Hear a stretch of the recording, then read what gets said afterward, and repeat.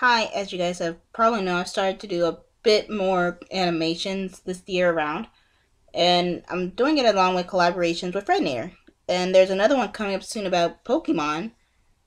And if you want, you can suggest stuff for me to do.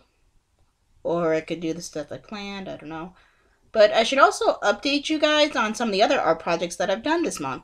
And last month, since I know no one's been watching.